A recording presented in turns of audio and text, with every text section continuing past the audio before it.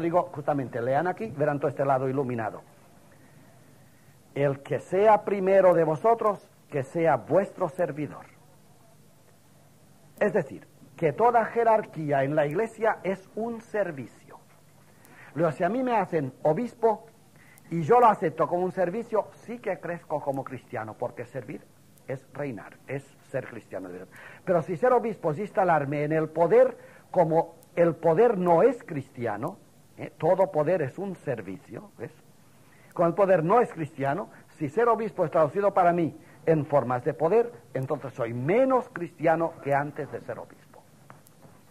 La jerarquía, por tanto, o es un servicio o es una profanación del cristianismo. ¿Lo ven ustedes aquí? Toda esta postura, las tres posturas. Si es un servicio, muy bien, esto cambia absolutamente y se reduce aquí. Pero si es una postura de poder y por ser sacerdote o teólogo o moralista, soy más poderoso, esta fuerza de poder destruye el cristianismo que hay en mí.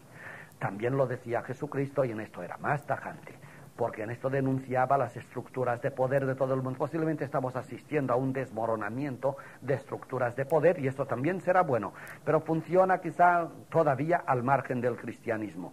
Vosotros habéis visto, decía Cristo, que los poderosos del mundo, los reyes, decía él, los reyes del mundo se valen de su poder para con sus súbditos. Es decir, Gobernar es instalarse y explotar.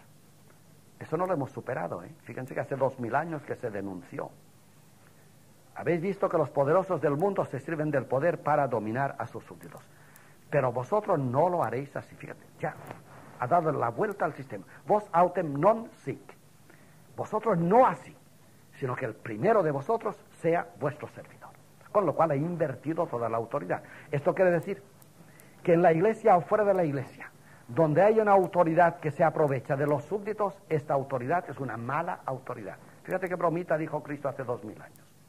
Y que donde una autoridad invierte su poder en servicio del otro, aquí hay autoridad. Toda autoridad es poder ponerse debajo al servicio de ser siervo de ministrari en latín, ¿eh? diaconein en griego. Ministrari es ponerte al servicio, es decir, la mujer de limpieza que tienes en casa es una servidora tuya, ¿no? Pues esta tiene autoridad. La autoridad es esto. La autoridad es esto. Y de hecho, ahora estamos, pues no sé si ya lo ven venir, ¿cómo que la autoridad es esto? Sí. Fíjate, si yo te veo mal, eh, mal parado, sufriendo, y voy y te digo, dime lo que quieres, que lo haré, estoy todo el día a tu servicio. Primero que te estoy diciendo, que te quiero. Paz, el amor aparecido. Segundo, que tú te pondrás en mis manos. ¿Ves la autoridad? Mía. Yo me he puesto a tu servicio y tú te pondrás en mis manos porque entre nosotros dos hay amor. Ya está. Esta es la situación. Y este es el gobierno del mundo y debe empezar siendo el gobierno de la iglesia, que muchas veces no ha sido como ustedes ven. No ha sido, pero que ha de ser. Bueno, como esto ahora se invierte, por tanto, aquí tenemos el tema de los laicos. Ustedes dirán, primero, el futuro, el futuro que ya fermenta en nuestros lagares, lo queremos meter ya en unas estructuras eclesiales visibles, que son los odres de que hablábamos.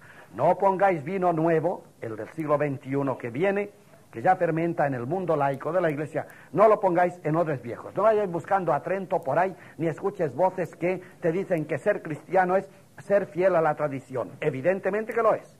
Eso está explicado aquí, no lo olviden. Si no somos fieles a la tradición, volvemos a empezar la historia. ¿eh? El que ignora la historia está condenado a repetirla. Recuerden a Chesterton que, que dijo la frase magistral. Tradición, ser fieles a la tradición. Tradición no es que los vivos están muertos. Que esto parece, ¿no? Cuando invocan la tradición, que pues hay que volver a la tradición de Trento, te cogen y te ponen en Trento. Pero como todos los de Trento están muertos, si tú vas a Trento te mueres. A ver, ¿cómo puedes volver 400 años atrás? Chesterton decía, tradición no es que los vivos están muertos, no es que hemos de trasladarnos al pasado y ser fósiles como nuestros antepasados, no, no es que los vivos están muertos, es que los muertos están vivos. Eso es tradición que en mí vive toda una tradición pasada, pero vive no para que yo la defienda, sino para que de ella haga trampolín y salte al futuro. ¿Ves? ¿Lo ves? Otra vez, ¿ves la tradición? Mira, Cristo parecía tonto hace dos mil años. Mira cómo lo dijo. ¿Lo ves? No es que yo, tradición es que yo me coloco aquí y ser fiel al pasado. No, no, no. Tradición es que todos estos, lo que yo he sido a los siete años, a los quince, a los veinte, a los treinta, esto vive dentro de mí y empuja el hombre que ahora soy para que nazca el hombre de mañana. Bueno, pues la tradición no es ser fiel al pasado, es construir el futuro. Y por eso les he dicho, los laicos tienen ya el vino nuevo preparado. No hay que embotellarlo en odres viejos porque revientan los odres, dice Cristo mismo, para prevenirnos a tiempo, sino que hay que inventar incluso los odres. Y ahora los laicos dirán, bueno, pues, ¿qué está haciendo el Papa? Porque no nos lo dice. Ya caemos en el error. El Papa no dirá nada. Y si dice algo, se podría callar. No le toca. Bueno, pero el obispo para eso cobra. No sé si cobra, pero el obispo es que no sabe. Y si todavía sabe, ya se cuidará Dios de pararle la boca y hacerle ver que es tonto, que le hace falta. No lo dirá el obispo. Y los curas, los curas cada uno predicamos lo que queremos, dice el, pueblo de hoy. Eso está muy bien. Porque como despistamos al pueblo, llegará un día el pueblo y dirá, pues a ver si nos ponemos de acuerdo para que los curas... Eso es, eso es lo que se quiere demostrar. La pena será que el pueblo responderá si no tiene cuidado, no por propia fermentación, como toca, sois la levadura del mundo, decía Cristo. No por propia fermentación, sino por un acoso externo. Y los laicos dirán, ya que el Papa es tonto, y los obispos son tontos, y los curas no dan golpe, nosotros, pues esto no es glorioso, oye, así, así cualquiera. Lo bueno sería que el laicado dijera, diga lo que diga el Papa, y además siendo tan enormemente glorioso como es el Papa y digan lo que digan las conferencias episcopales, que son además lo más florido de la humanidad. Y sean lo que sean los curas que son los más listos del mundo, siendo así, nosotros queremos hacer un cristianismo nuevo. Eso es glorioso. Y esto es lo que debe venir. Por tanto, primero, no esperen ustedes que estos sigan impartiendo órdenes de consumición o consumición para que ustedes consuman. Esto no. El amor, y ahora viene lo bueno. Por tanto, no esperen, esto es negativo, ¿eh? Esto no dirán. Y si dicen, cada vez dirán menos. Y si se empeñan en decir, cada vez lo dirán peor. No se preocupen. Dios está ahí. Dios está ahí. Y conviene que lo sepamos. Si se empeñan en hablar, cada vez lo harán peor. A fin de que no queda más remedio. Entonces los laicos, ya, una vez que hemos entendido, bueno, estos gobiernan, pues San Ireneo ya lo decía. Eh, eh, el obispo es el timonel de la nave. Pero no es ni la vela, ni el mástil, ni la nave, ni los pasajeros. Y, nos hemos creído que esto es todo. ¿El Papa qué es? Oh, el Papa es la iglesia. Dirige la iglesia, es la barca, es nosotros, es la vela y es el mástil. No, hombre, no, no. Es un super papa, una hipertrofia papal, no conviene. Pero lo es, ¿verdad? La jerarquía lo es todo y como estos, ¿cuál es el papel de los laicos? Estar sentados, ya el anticristiano, callarse y pagar. ¿Qué es lo que hacen los laicos en la iglesia? A ver, se sientan, escuchan, y pagan. Es una gloriosa misión del laicado. La iglesia es activa y es activa aquí, aquí empieza. Todo lo demás es, es producción de aquí. El Papa ha nacido en los laicos, nació laico el Papa. Y los obispos todos, es que no, no caen del cielo los obispos. Por si faltan demostraciones, acérquense ustedes y lo verán. No vienen del cielo. No. Bueno, dejemos ya, vamos a esto. Entonces, esto no van a, hacerlo y aunque lo pretendían, no lo harían porque ya no es su hora. Este mundo ha sido una juventud de la iglesia que la superamos. Los laicos tienen el vino y habrán de inventar los odres. Es decir, que no estamos en la conservación de un pasado, ni siquiera en el apuntalamiento de un presente, no, no, tampoco, se puede morir, renúnciese a sí mismo, dice Cristo, ese presente de la iglesia es para que lo superemos también. Se trata de la construcción, de la invención del futuro. Pero ¿cómo se puede inventar un futuro? Cuidado, los laicos pueden tener, primero, la obsesión de que esto les dicten normas. No lo harán, ya lo he dicho. Segundo, ya que esto no dictan, los laicos se pueden reinventar una iglesia de sabios, de santos y de curas. Lo podrían hacer. Espero que no caigan en esta tentación los laicos. Y para no caer en esta tentación, ¿qué hay que hacer? Colocarse aquí. ¿Cuál es la forma inventiva o creativa? La creatividad, de esto se habla mucho. ¿Cuál es la forma creativa? Digamos el cogollo de la creatividad en el hombre. ¿Cuál es? El amor. El amor. No hay más. El hombre es creativo en el amor. Y hay que ver la capacidad que tiene de crear el amor. Cuando tienes una ilusión, una idea, un amor, Dios es amor, no solamente todo el entorno se ilumina y se hace más real, sino que además los versos, la creación, la pintura, la música, el arte, el baile y la fiesta salen solos. Pero pues ahora estamos. Los laicos están cociendo el futuro. Aquí se cuece todo el futuro. Y los laicos han de orientarse, y supongo que lo están ya, hacia el cogollo de la religión. Dios es amor. Si empezamos amándonos de verdad, crearemos el mundo que toca. Donde no caeremos en esta tentación de aquí que Cristo arrasó, Él que era el amor de Dios entre nosotros, sino que crearemos un mundo no definitivo, del cual también habrán de, de, volar eh, los pájaros salvajes del próximo siglo. Pero sin embargo, estos laicos nos crearán un mundo, si procede del amor, donde la justicia y la paz gobiernen, es decir, donde la felicidad sea posible. Para esto, y en síntesis y para terminar, hay que decir lo siguiente.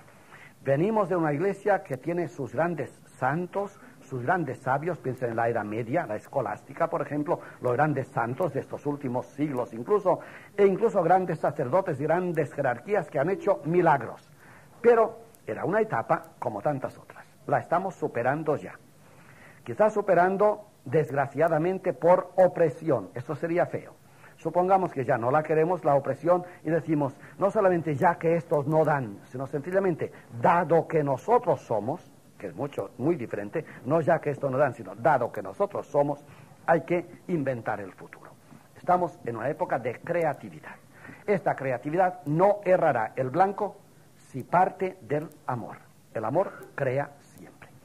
Y el amor que crea además curiosamente, fíjense, ahora verán a Cristo como por otro lado se ilumina todo. El amor que crea no crea estructuras, sino libertades. La libertad de los hijos de Dios. Estos son estructuras. El sabio, los sabios saben y saben cómo hay que saber las cosas y las enseñan cómo hay que saberlas. Los moralistas se comportan y te enseñan cómo hay que comportarse. Y los curas son una casta sacerdotal que santifica y coloca tu vida en momentos determinados. En cambio, la libertad de los hijos de Dios que nace por el amor da en creatividad. Es decir, estamos en el punto de estar creando una iglesia, una forma completamente nueva de iglesia. Pero esta forma completamente nueva de iglesia no será precisamente una iglesia de sabios, habrá sabios, pero no será una iglesia donde la sabiduría sea la meta, ni una iglesia de santos, ¿no es cierto?, de fariseos, de, de insoportables practicadores, no será tampoco, porque es meta, ni tampoco una casta sacerdotal. Ya lo acabo de decir, la casta sacerdotal se diluye, ya la ven ustedes, ahora empieza el laico a invadir. Entonces la casta sacerdotal cristianamente se pondrá en su sitio y todo esto es invadido por... Sino que si el amor es el móvil, la creatividad nos creará una iglesia nueva donde la meta no sea la sabiduría, ni el fariseísmo, ni la casta sacerdotal, sino ya sale enseguida. La fiesta, la celebración. Homo ludens, la celebración. Pero fíjense ustedes, ¿la celebración de qué? De Dios en nosotros, del amor, el amor creativo que estamos haciendo. El círculo se cierra. La celebración. Justamente la iglesia primitiva, que se, parecerá mucho a la nuestra futura, cada vez que se reunía era para celebrar Ahora pasen revista, ahora destructor completamente. Mañana es domingo. Ustedes acudan a una misa cualquiera. Bueno, espero que no tengan suerte, sino que tengan mala suerte, que es lo que ahora me conviene. Y usted, no es difícil tener mala suerte en domingo, ¿verdad? Van ustedes a una misa y pónganse en plan de espectador, de crítico. Y cuando estén ustedes en la misa y vean ustedes la gente, el sacerdote, el rito mismo, pregúntense, ¿qué se celebra aquí? No tendrán la impresión de que se celebre nada. Se cumple algo, pero no se celebra nada. Hay una explosión de alegría. son un montón de cristianos que como es obligado ir a misa, van a misa. Con lo cual la misa es una pura repetición opaca de cosas que no significan nada. Y si no, como Dios habla por la boca de los pequeños, pregunten a su hijo. El niño responde, mamá, qué rollo. Y los niños, decía Jesús, no se equivocan, porque su alma está viendo la cara de mi Padre que está en el cielo. Habría que tomarlo en cuenta. ¿eh? Mamá, qué rollo. No se equivoca el niño. Es un rollo. Si es una fiesta, si le diéramos fiesta, si celebráramos, un bautismo es una celebración. La naturaleza del agua se pone en pie para que Dios entre tumultuosamente en el alma. El pan y el vino, la Eucaristía, son una celebración. Tumultuosamente todos los trigales del mundo se ponen a cantar y todos los vinos del mundo, que son muchos y buenos, se ponen también de fiesta. Entonces celebramos la fiesta de Dios en nosotros, que es un banquete. Cuando Dios llega, nace un banquete. ¿Es un banquete la misa? Entonces Dios no llega. Porque cuando Él llega, nace un banquete. Es una celebración. Y ustedes dirán, uff, eso, eso es lo que está cociéndose en las cubas de los laicos. Esto. ¿Y cómo se hará? Pues habrá que inventar un sistema donde los sacramentos sean una eclosión de luz, donde la Eucaristía sea un banquete y donde nuestra reunión litúrgica se traduzca en unos ritos que sean completamente elocuentes. ¿Y ahora por qué el cura hace así? Ese rito es muerto. Pues no se puede hacer. ¿Y, y, y, cómo lo arreglaremos? Aquellos tres de arriba no lo saben. No lo saben. Lleva 10, 20 años Roma intentando la renovación litúrgica y ha logrado poquísimas cosas. Poquísimas cosas. ¿Por qué? Porque son los laicos los que lo dirán. Cuando dos o tres se reúnen y dicen aquí hay que celebrar, sale la celebración. Y entonces una misa tiene sentido. Si no, es un paganismo, es un precristianismo como este que Cristo atacó. Y por eso he dicho al principio que si viniera, volvería a atacar las tres excrescencias de la religión que el cristianismo a veces no ha sabido superar. Yo diría que más, en muchos lugares de la tierra me temo que el cristianismo no sea más que estas tres cosas que Cristo atacó. Esto ya es horrible. ¿eh? Que el cristianismo no es más que las tres cosas que Cristo atacó.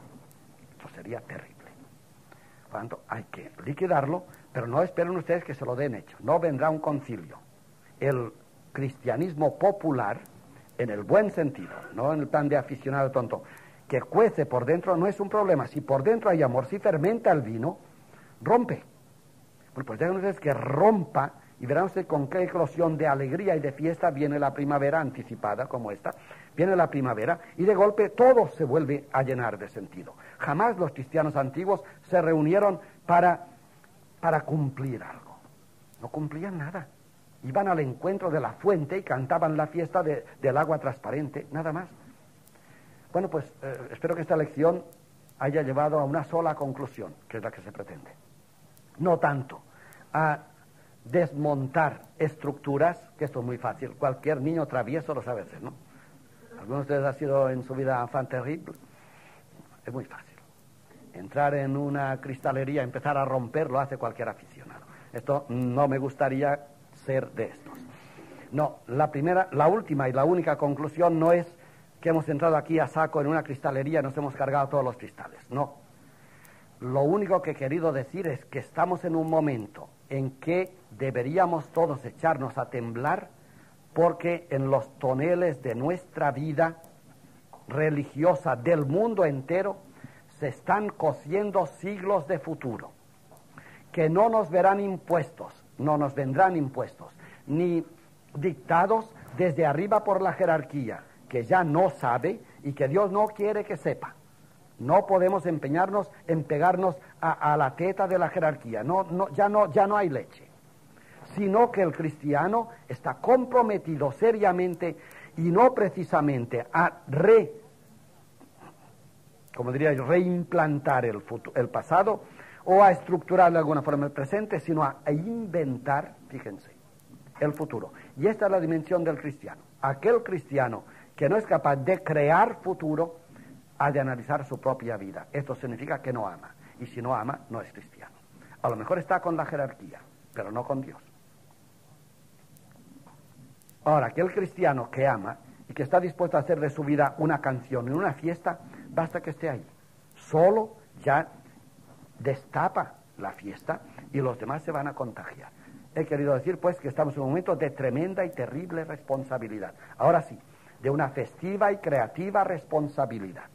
De poner todo esto que hemos dicho al lado, de ponernos desnudos ante la, realidad del mundo que espera de nosotros, de dejar que esto que llamamos Dios entre en nosotros, no como una filosofía, no como una ley que hay que cumplir, ni como una casta que hay que reverenciar, sino como algo entre nosotros, como amor, y que este amor empuja por todas las fronteras, la rompe, inunda de luz, como la aurora de la mañana, y nos aboca hacia un mundo nuevo, que lo será en la medida en que este amor sea capaz de crear una presencia festiva de Dios en el hombre, que es lo mejor que le puede pasar al hombre y lo que de verdad quiere Dios cuando está en religión.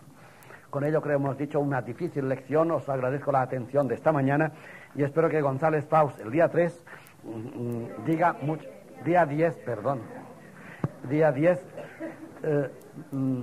sepa añadir, bueno, y quiera añadir muchas cosas que él sabe a estas cosas hermosas que hemos dicho. A partir de la lección siguiente del día, que he dicho, el 17, eh, aquí ya continuaremos, si no hay novedad, por este camino. Es decir, ya considero liquidado este pasado que hemos sido, que hemos sido, y considero que estamos ahora en, la, en el lagar de la ebullición y que todos queremos de alguna forma que la religión, sea la que sea, sea festiva. Y esta, este es deber del mundo laico, no de la jerarquía, sino del laico empeñado. ¿Quieren que discutamos alguno de estos puntos? He alargado mucho, ya lo sé, les pido perdón. Es mejor que nos vayamos a tomar este hermoso sol. Adiós, buenos días.